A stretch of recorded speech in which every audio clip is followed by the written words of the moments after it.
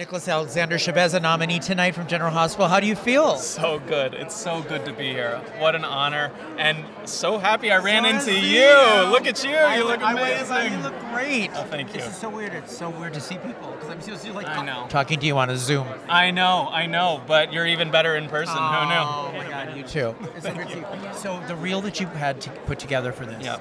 were you proud of like what you ended up with? I was happy with the work. Yeah, I mean, um, there was a, a learning curve definitely with coming onto the show, having never done that before. Um, but I think that I was able to like understand technically what was happening with uh, relative ease. I think like within a month I had become acclimated to that, and then uh, I was able to really go full force with what the character was experiencing emotionally. And they put Spencer through the wringer this last The year. wringer. Yeah. So.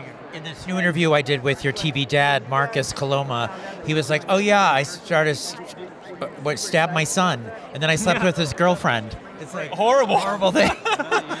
I know. We talk a lot about that. We're like, well, how do you forgive something like that? How do how do you how does a son and a father work past something like that? And I don't know if you do. So I'm really really interested to see what's around the corner for those relationships. now, do you have a speech prepared? A loose one. A loose speech. But it's been practice, and I know it word for word. What I'm worried about is that if I'm asked to give one, I might nerves might take over, emotions might take over.